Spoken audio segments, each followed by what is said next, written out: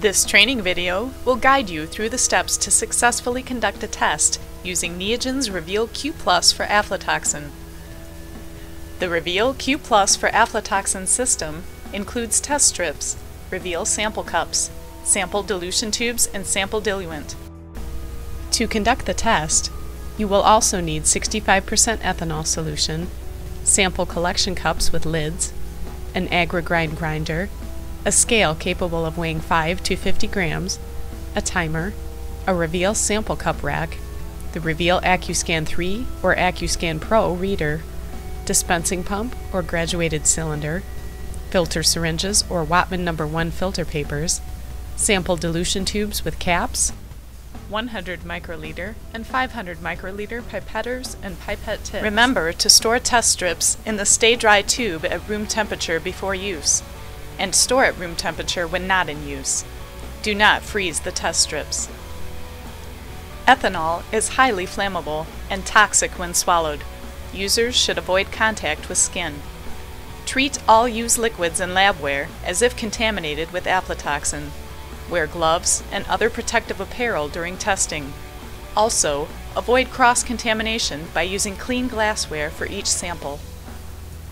Obtain a representative sample and grind the sample so at least 75% of the ground material passes through a 20 mesh sieve. The particle size should be about the same as instant coffee. To prepare the sample, begin by gathering all of the materials required for the test. If you are not using Neogen's prepared ethanol solution, prepare a 65% ethanol solution by mixing 6.5 parts ACS grade ethanol with 3.5 parts distilled or deionized water. The volume of ethanol solution needed will vary by the number of samples you intend to run. The sample is extracted with a ratio of 1 part sample to 5 parts 65% ethanol. In this example, we will use 10 grams of ground corn with 50 milliliters of 65% ethanol. Vigorously shake or vortex the mixture for 3 minutes or blend for 1 minute. Allow the sample to settle or filter with a filter syringe or paper.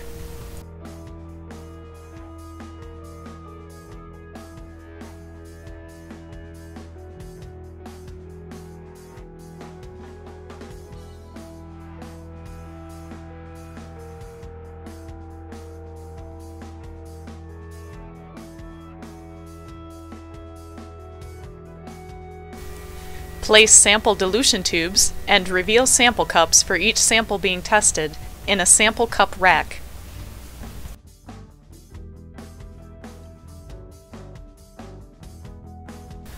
For each sample, add 500 microliters of sample diluent into a sample dilution tube and add 100 microliters of the sample extract.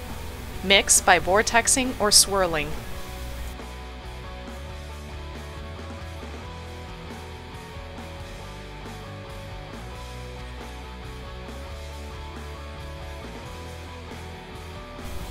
Transfer 100 microliters diluted extract to a Reveal sample cup using a new pipette tip for each sample.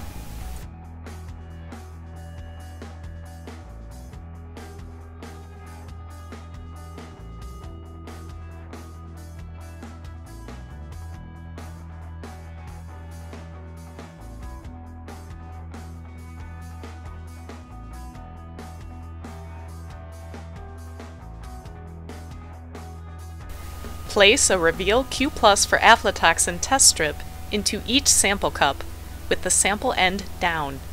Allow the strip to develop in the sample cup for 6 minutes.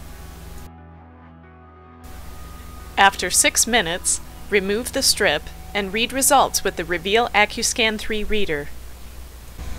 Be sure to read the test strips within 1 minute of completion of the incubation. The AccuScan 3 or AccuScan Pro reader will report the results and save the data to be analyzed later. Remember that readings conducted after 7 minutes may be inaccurate due to overdevelopment of the device, and the strips must be read using the Reveal AccuScan 3 or AccuScan Pro reader. In order to produce a quantitative result, a curve must be entered into your AccuScan reader. If you are using an AccuScan 3 reader, you will need to enter the lot number, A, B, C, and D values, which can all be found either on the Q Plus kit box label or the C of A. In the case of the AccuScan Pro, you will simply enter the QR code, which is provided inside your Q Plus kit. Alternatively, you can find the 39-digit code that makes up this QR code on the C of A. This code can be entered manually in place of reading the QR code. If you have any questions regarding the use of these AccuScan readers, please contact Neogen. Manuals are available for both the AccuScan 3 and Pro readers.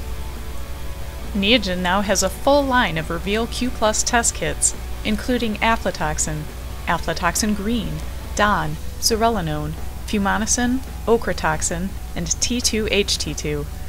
Kit inserts and step-by-step picture procedure brochures are available for all Reveal Q Plus kits. Please contact Neogen for more details on our full line of Q Plus test kits. For customer assistance and technical services, contact us 24 hours a day at 800 234 5333. Thank you.